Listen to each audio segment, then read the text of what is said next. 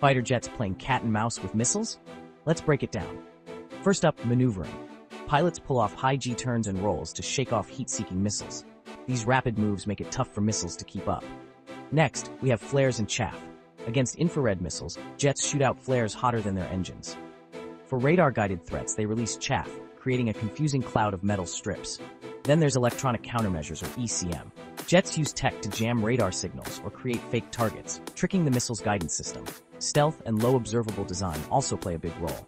These jets are built to be nearly invisible to radar and infrared detectors. Radar warning receivers, or RWR, alert pilots to incoming threats. With this intel, they can deploy countermeasures or dodge just in time.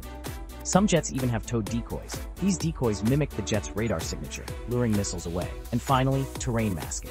Pilots fly low through valleys to break the missile's line of sight.